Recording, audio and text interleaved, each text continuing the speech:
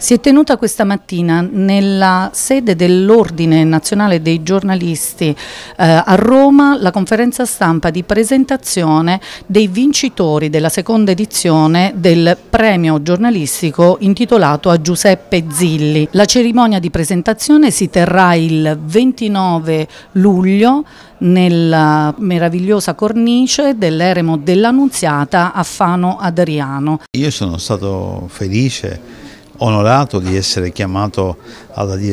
alla mm, presidenza di questo eh, premio e di aver contribuito alla scelta dei, dei premiati che mi sembra eh,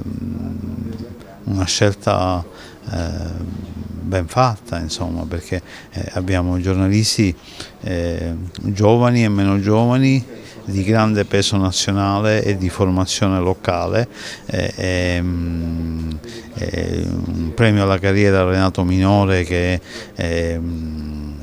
insomma, una delle colonne del giornalismo culturale negli ultimi eh, 40 anni, oltre ad essere un intellettuale, uno scrittore, insomma uno che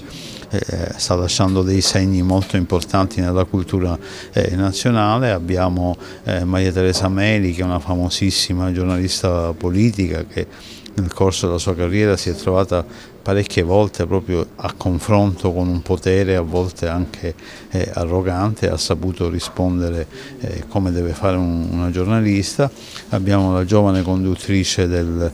del TG1 Isabella Romano, insomma non li sto a elencare tutti, però mi sembra eh, una scelta appunto varia e, e, e, tutto sommato ben fatta, possiamo dirlo con un minimo eh, di orgoglio. Don Giuseppe è una persona importantissima per, per Fanadriana, al di là del fatto che abbia ricoperto il ruolo di direttore dal 54 all'80, ma ha lasciato un ricordo ancora indelebile, come ha, ha potuto vedere Barbara nell'intervista nelle pillole. Ancora oggi nutriamo, i fani si nutrono, un carissimo ricordo verso eh, Don Giuseppe Zilli, perché era, era, una persona buona, una persona che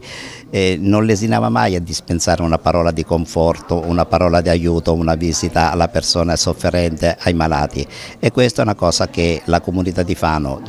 che ho l'onore appunto di amministrare, non dimenticherà.